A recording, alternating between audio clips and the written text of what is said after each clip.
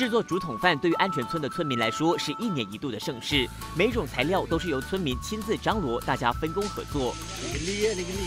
开斋节前几天，村里的男人就负责到森林里面去寻找合适的芭蕉叶以及竹子，然后把长长的竹子再砍成一样长度的竹筒。村民说，唯有在森林里面找到的竹筒外层才会够薄，这样糯米饭才比较容易被烤熟。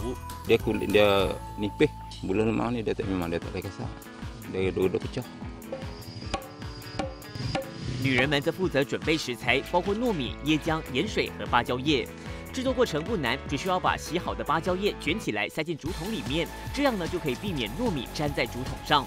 然后再把糯米一点一点的倒入竹筒，最后加入椰浆就可以了。哦，点么个多哦。嘎嘎说，诀窍就是水分必须完全渗透竹筒，要不然糯米会很难熟透。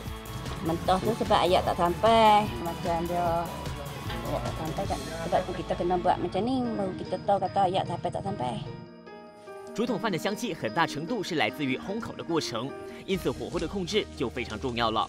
阿棒说，太靠近火的话，糯米会很干硬；太远又怕会不熟，所以得靠经验来判断，实时掌握远以及近，才能够烤出最好吃的竹筒饭。Kita rapatkan lemang dengan api tu, takut dia cepat cepat hangit.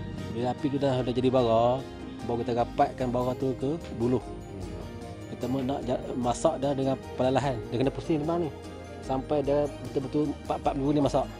烘烤完成之后，只要轻轻的把芭蕉叶拉出来，整条竹筒饭就可以被抽出，切成块状，让大家彼此享用，这才是真正回到干蹦一起过节的滋味了。